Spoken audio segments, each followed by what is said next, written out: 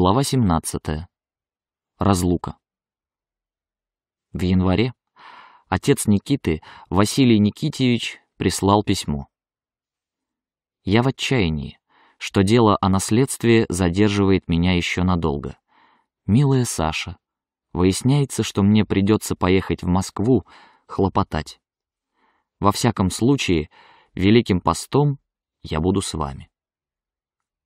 Матушка сильно загрустила над письмом и вечером, показывая его Аркадию Ивановичу, говорила: "Бог с ним с этим наследством, если из-за него столько неприятностей.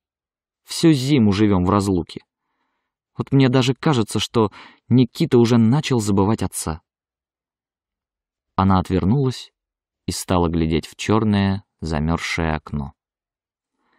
За ним была глухая ночь такая морозная, что в саду трещали деревья, и громко так, что все вздрагивало, трескались балки на чердаке, а по утру на снегу находили мертвых воробьев. Матушка легонько вытерла глаза платком. Да, разлука, разлука, проговорил Аркадий Иванович и задумался, должно быть, о своей собственной разлуке. Его рука потянулась в карман за письмом. Никита в это время рисовал географическую карту Южной Америки. Сегодня с матушкой было долгое объяснение. Она волновалась и доказывала ему, что за праздники он обленился и опустился. Готовит из себя, очевидно, волосного писаря или телеграфиста на станции Безенчук. Вечером вместо глупых картинок, сказала она. Будешь у меня рисовать Южную Америку. Никита рисовал Америку и думал: неужели он забыл отца? Нет. На месте реки Амазонки, там, где скрестились долгота и широта, он видел краснощекое, с блестящими глазами и блестящими зубами, веселое лицо отца темная борода на две стороны, громкий похохатывающий голос. Можно было часами глядеть ему в рот, помирая со смеха, когда он рассказывает. Матушка частенько упрекала его в беспечности и легкомыслии, но это происходило от его слишком живого характера. Вдруг, например, отцу придет мысль, что лягушки, которыми были полны все три усадебные пруда, пропадают даром. И он целыми вечерами говорит о том, как их нужно откармливать, выращивать, холить и в бочках отсылать в Париж. Вот ты смеешься, говорил он матушке, смеявшейся до слез над этими рассказами. А вот увидишь, что я разбогатею на лягушках. Отец велел городить в пруду садки, варил месиво для прикорму и приносил пробных лягушек домой, покуда матушка не заявила, что либо она, либо лягушки, которых она боится до смерти, и что ей противно жить, когда этой гадости полон дом. Однажды отец поехал в город и прислал оттуда с обозом старые дубовые двери и оконные рамы и письмо. Милая Саша, Случайно мне удалось очень выгодно купить партию рам и дверей. Это тем более кстати, что помнишь, ты мечтала построить павильон на Тополевой горке. Я уже говорил с архитектором, он советует павильон строить зимний, чтобы жить в нем и зимой. Я заранее в восторге, ведь наш дом стоит в такой колдобине, что из окон никакого виду. Матушка только расплакалась. За эти три месяца не заплачено до сих пор жалование Аркадию Ивановичу, и вдруг новые расходы. От постройки павильона она отказалась на отрез, и рамы и двери так и остались гнить в сарае.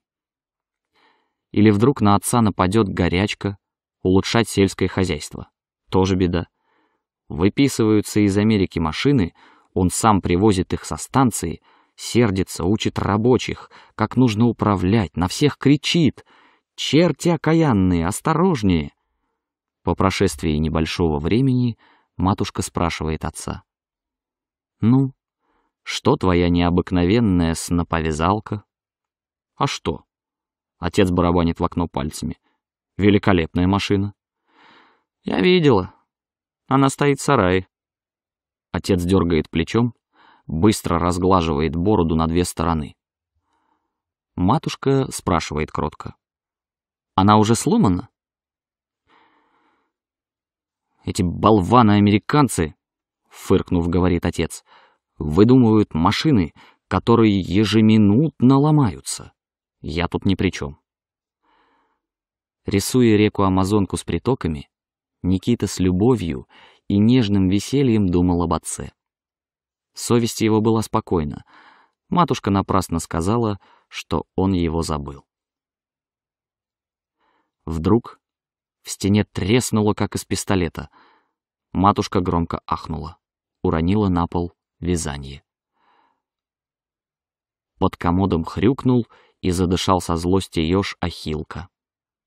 Никита посмотрел на Аркадия Ивановича, который притворялся, что читает.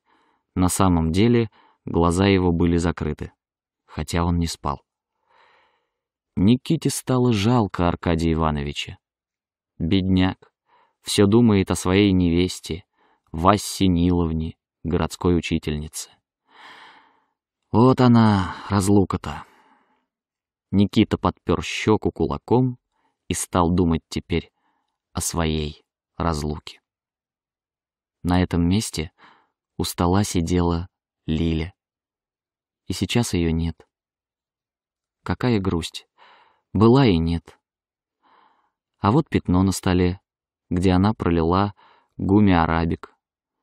А на этой стене была когда-то тень от ее банта. Пролетели счастливые дни. У Никиты защипало в горле от этих необыкновенно грустных, сейчас им выдуманных слов. Чтобы не забыть их, он записал внизу под Америкой. Пролетели счастливые дни. И, продолжая рисовать, повел реку Амазонку совсем уже не в ту сторону, через Парагвай и Уругвай, к огненной земле. Александра Леонтьевна, я думаю, вы правы. Этот мальчик готовит себя в телеграфисты на станцию Безенчук. Спокойным голосом, от которого полезли мурашки, проговорил Аркадий Иванович, уже давно смотревший, что выделывает с картой Никита.